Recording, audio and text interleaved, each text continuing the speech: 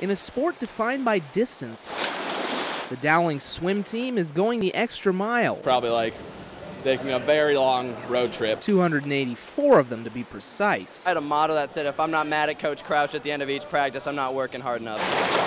Prior to the season, Coach Mark Crouch set a goal swim 500,000 yards. Typically, uh, when we've when we've been able to do that, our teams have performed pretty well at the end of the year. I'll have it equated out to where we would drive to Chicago back. I'm not sure how many times. A mark they passed this week. It shows the hard work, all the hard work we put in, and just that the dedication that this team has. I don't know. It's probably what some people walk in a lifetime. I'm not sure. Every yard seems to bring them closer together.